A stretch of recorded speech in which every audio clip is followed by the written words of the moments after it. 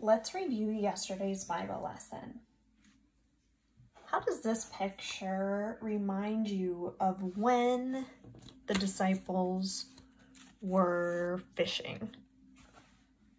Yeah, they were fishing at nighttime, but there was a problem.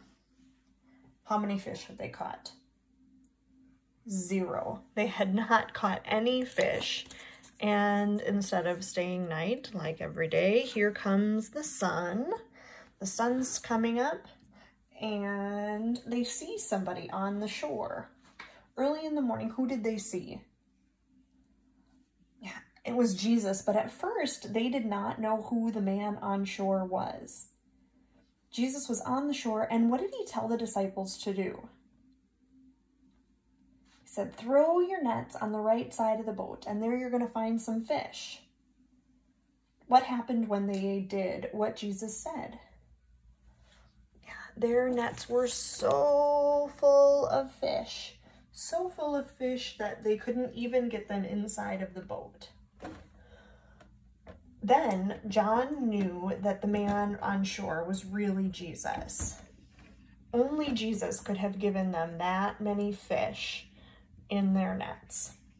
That he was true God. He had power over the wildlife. He was able to fill their nets up.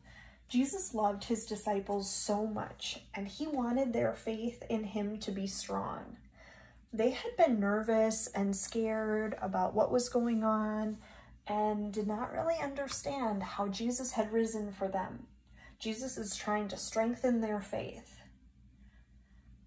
Back to yesterday. I had a jump rope and a pillow and a pepper, and those things were all things that I would use to help keep my body healthy and strong let's think about our faith and how we keep our faith healthy and strong. If I'm only going to use my crayons and my candy and my toys, my body is not going to stay strong.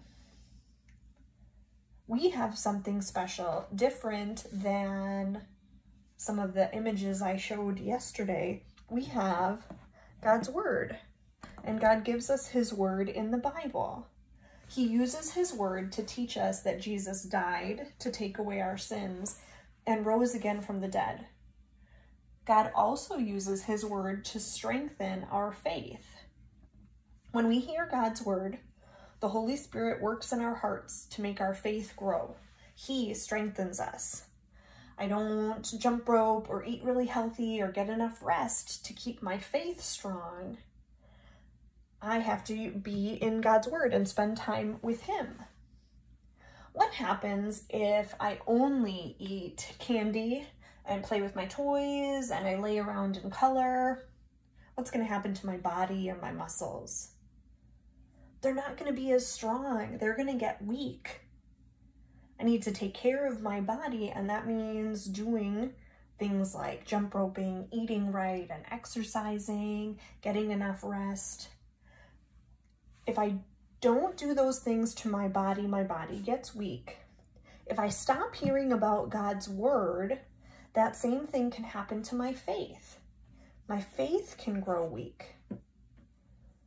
God uses his word to keep our faith strong we pray to him to strengthen our faith in our Savior as we hear his word. Let's do that now together. Please fold your hands. Dear God, thank you for giving us your word and the good news that Jesus has saved us from our sins. Work in our hearts as we hear your word to strengthen our faith in our risen Savior. Help us use the joy of Jesus risen to share that news with other people. May our thoughts, words, and actions bring glory and honor to you. Amen.